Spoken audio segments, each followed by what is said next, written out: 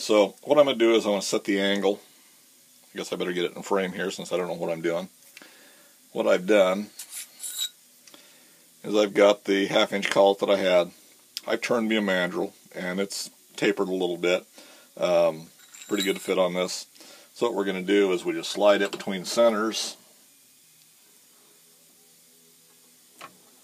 like so, which is where we'd set up and about the tension we'd set our standard mandrels on, or the ones we're cutting. This will set back here, and it just needs to set to give us the angle. We don't want to press it too far because it does start to expand the collet, and we don't want to do that.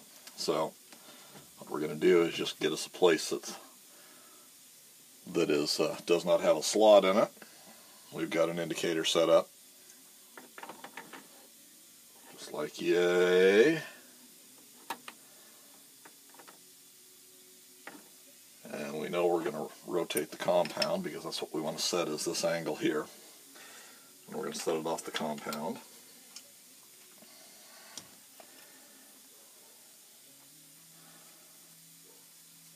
Going to be something about like that, I think. Let's loosen up our tool post.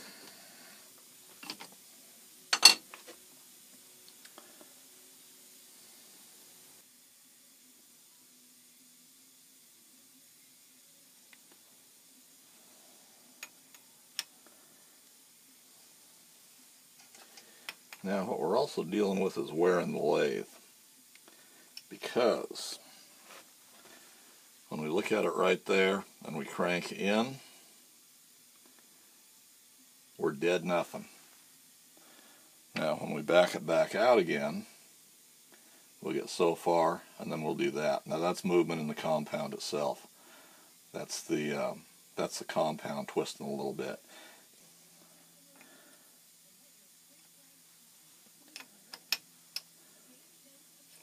Think I'm pretty happy with that. With all that fiddling around. Got a little bit more contact on our tailstock right there. So there we're free. There we're free.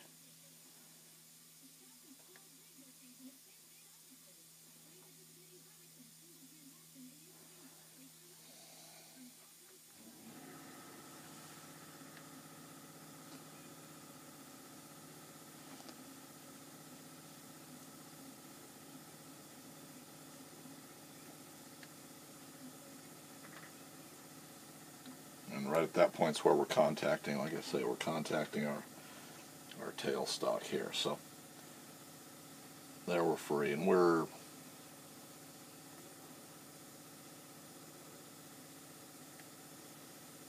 I'm going to say that taper angle is going to be fine for what we're doing. It may not be perfect, but uh, there again, we're not in a perfect world here. We know how I feel about a lot of the stuff that that we do with these lathes. You know, we say we're getting super precision out of them when we're maybe not getting quite as much as we would like everyone to believe. So let's put this back together, see if we've got enough clearance to uh, get our parts in here. And then we'll go from there. We've got to set our tailstock, or we've got to set our tool post, and uh,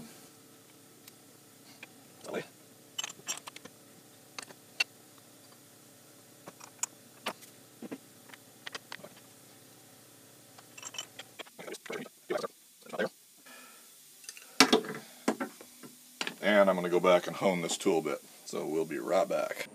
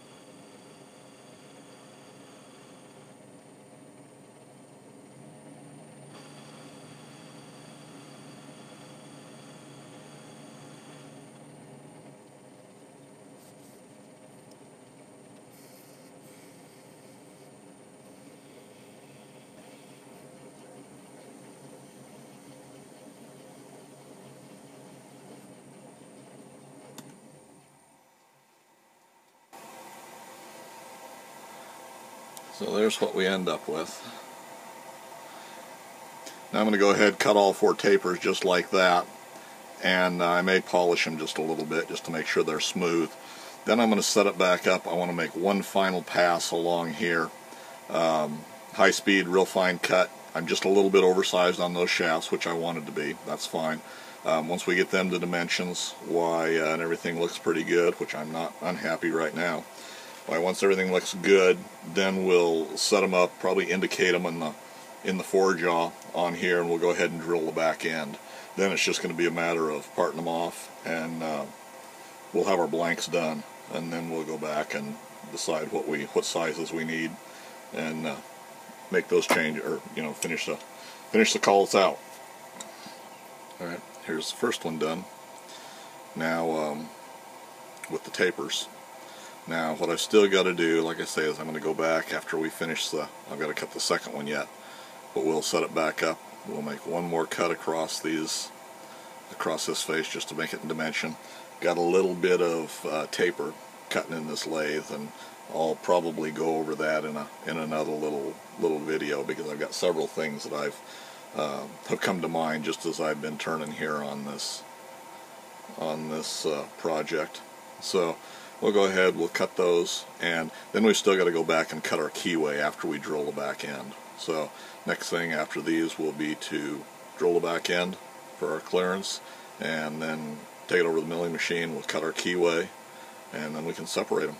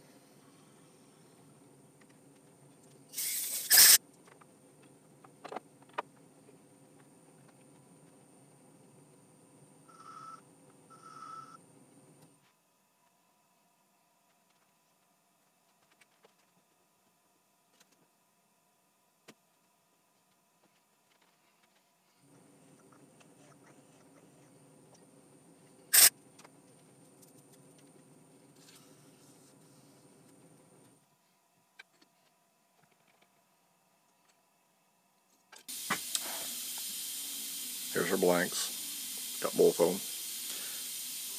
There.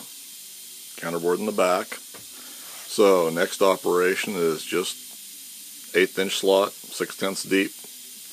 Um, the ones that I've got, they measure actually about inch and three quarter inch long. The print shows one uh, one inch. So I'm not sure. I'm probably going to go about inch and a quarter. I guess there again, how picky is it? You know, it's got a keyway slot. Now the uh, the print shows eighth inch end mill, and it looks like it was cut in a vertical mill is what the print shows. On the Chinese collets that I've got that I've been comparing to, they were they were cut on a horizontal because I can see it taper off at this end. So there's probably inch and five eighths, something like that, of the actual full depth slot, and then it tapers up the front where your cutter would have ran out. Um, doesn't really matter. We're going to cut it in the vertical mill. I actually thought about setting up the little Atlas horizontal and cutting it, but I think just for ease of doing it and to, to get them done, why we're going to just take a eighth inch end mill in the vertical mill.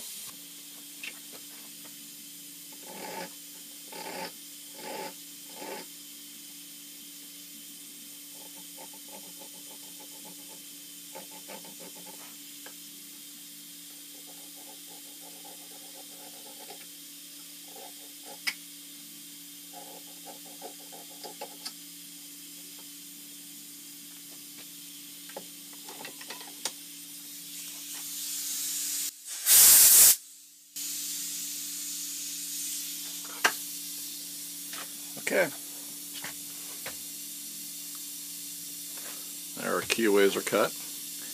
Now the uh, the spec sheet I had called for six tenths deep. Um, I only went five. I think five is going to be plenty. Um, and we could have gotten six out of there, but I wonder if the dimension that was on the drawing is actually right or if that's just the way it came out. So anyway, there's all four of them. So the next thing I'm going to do is just cut them in half in the hacksaw and then we'll blue them up, uh, lay them out for a length, and then just take take them to the lathe. I'm going to face them off to dimension and light and leave a flat right in the middle of it, and then we'll just lightly radius the outsides.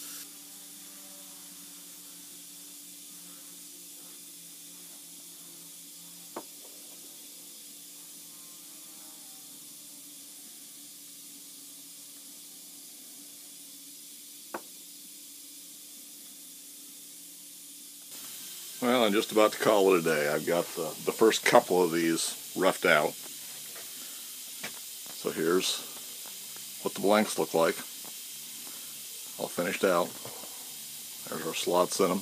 Now this one's ready to uh, to be bored for whatever diameter I want, bored, drilled, reamed, however we decide to do it, and it's going to depend on the size. I'm going to do these in the uh, Atlas lathe where we're going to run them so that way we know they're indexed to it. Now I've already had this blank set up in the in the lathe. It threads up very nicely. Everything looks good so far, so we'll find out once we once we actually get to fitting it, get it slotted and and in use. We'll make sure we've got our um, got our angles and everything right. Now compared to a standard collet or a, one of the collets that I had, this is a 3 8 and this is a Chinese import is what this is.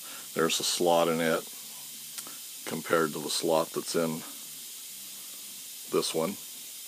And lengthwise, the dimensions for overall length on the print shows uh, 2.688, I believe.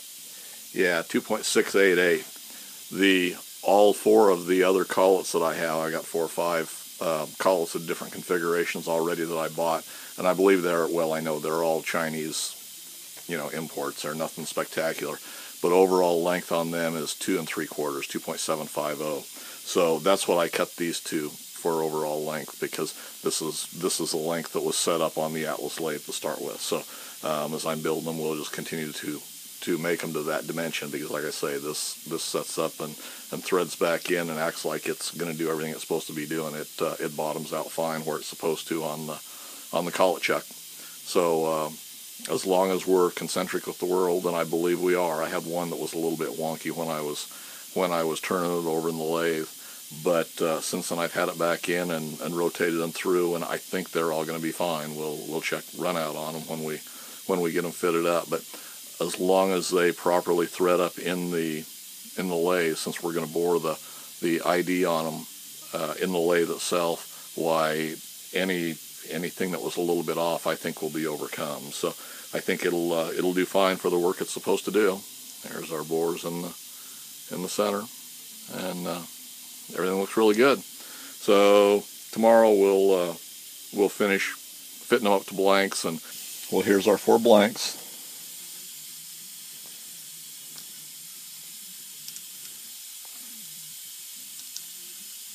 And I've already checked them in the in the lathe. They all uh, they all thread right in. I don't see any problems here at all. There's when we compare them to a, one of the collets that I already had. So I am exceptionally happy with those. They look like they run real true and everything looks good.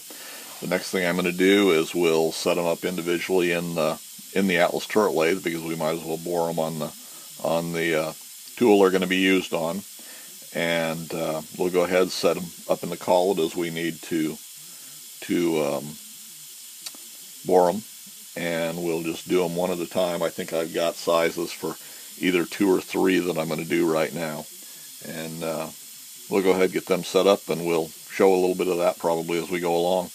But uh, so far, I'm exceptionally happy with those. They look like they're all going to run true and be within tolerance. So I think they're going to work real well.